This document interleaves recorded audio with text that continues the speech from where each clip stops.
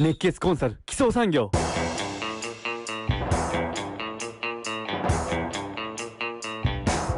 社員の裏切りや社員の反発が日頃からあり、事業を続けるやる気がなくなってきています。お客様のため、社員のためと思い、毎日休まずに会社を経営してきましたが、自分は何のために生きているのかと悩んでいます。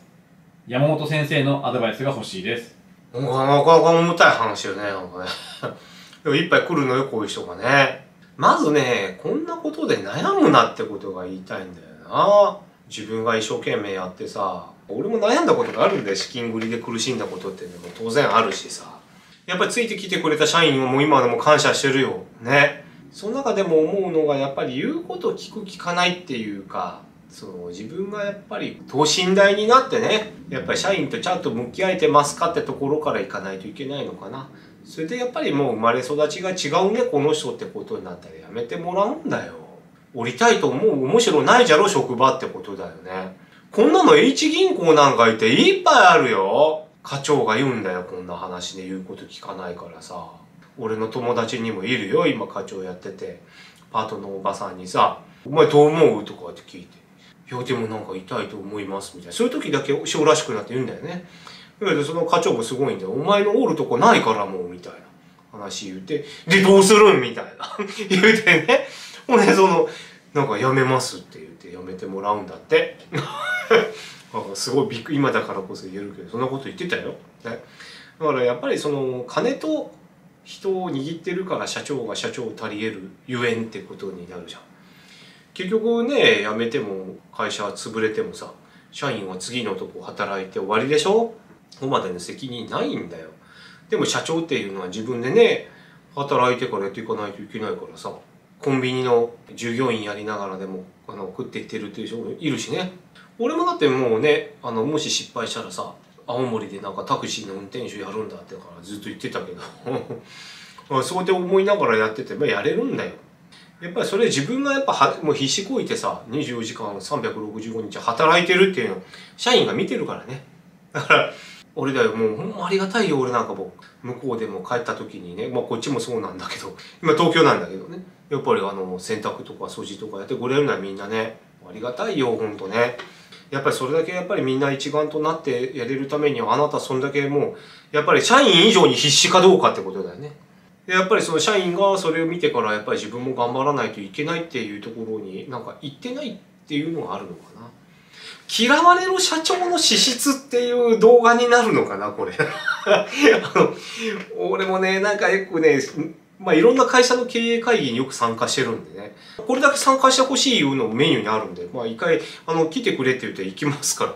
概要欄のその他に、あの、書いてくれたら、あの、全然調整するんですけどね。あの、よくね、こう、経営改善するときに幹部会とか、こう、行くと、勢いのある会社とない会社、社員に嫌われてる社長っていうのはもう絶対条件がある。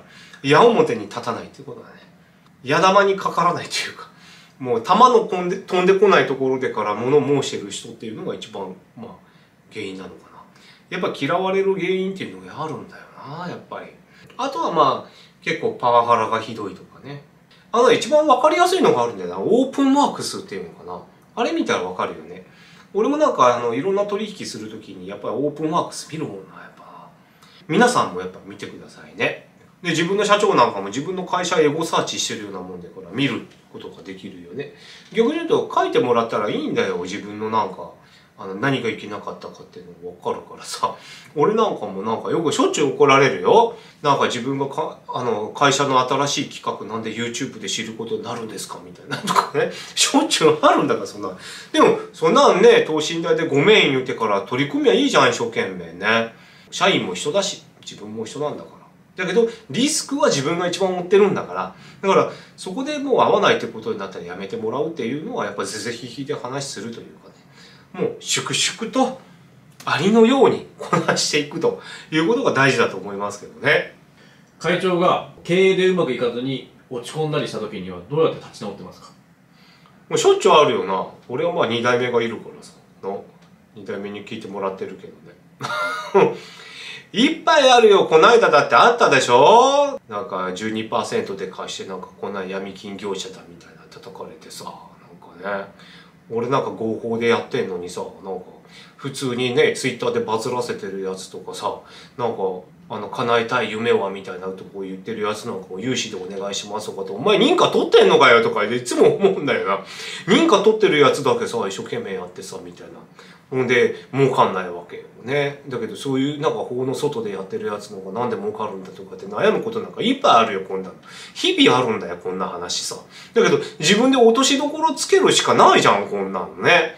やっぱりやってること、成功体験なんだよ、やっぱりね。やってみてお客さんに喜ばれた。やっぱりそういうふうに、やっぱり一生にこうやってきてね、やっぱりこうお金がちゃんとこう、あの、返せれるような体質になったとかね、山本先生のおかげですとかってコメントに書いてくれたら嬉しいよね。とか他の動画にこう紹介してもらったりとか、ツイッターで言ってもらったりとかっていっぱいあるよ。だからあんまりそういう話気にしないんだよね。気にしないようになったというか。いうことがあって。自分も太ってたからね、すごいね。前の動画とか。痩せりゃ済む話じゃん。ね。好かれるようになれっていうのは思わないけど、だけどやっぱりそういうふうないけないと思うところがあったら直していくの。で、まあ落ち込むことがあっても、やっぱり合法でちゃんとやってるから、やっぱりこの間の話だってあの会社は基礎産業が儲けに行ってるだけでね、あの、ちゃんと実績のあるコンサルだからって言って言ってくれてる人ってたくさんいて嬉しかったよ。だからそういう人たちのために働くっていうところがあるんで、誰のために働くんですか？社員のためじゃないでしょ？お金出してくれてるのはお客さんなわけだからね。お客さんのためにその事業がある。自分の会社がある。だから事業性があるからお金が返せるし、お金が返せるから銀行が応援してくれるっていうことになるからね。だからそういうふうなことがあって、そういう理念があって、で、こういう成功体験があって、その成功体験が自分を支えてくれるってことなんだよね。やっぱりうまくいってない会社の社長っていうのは成功体験が少ないんだよ。成功体験を自分で小さいところからこう積み上げていくってところが大事なのかなと思ってるんですけどね。自分の悩みをしっかり相談できる相手が今いない。でも、やはり自分の悩みを聞いてほしいという時にどうしたらいいですか？これも一択だね。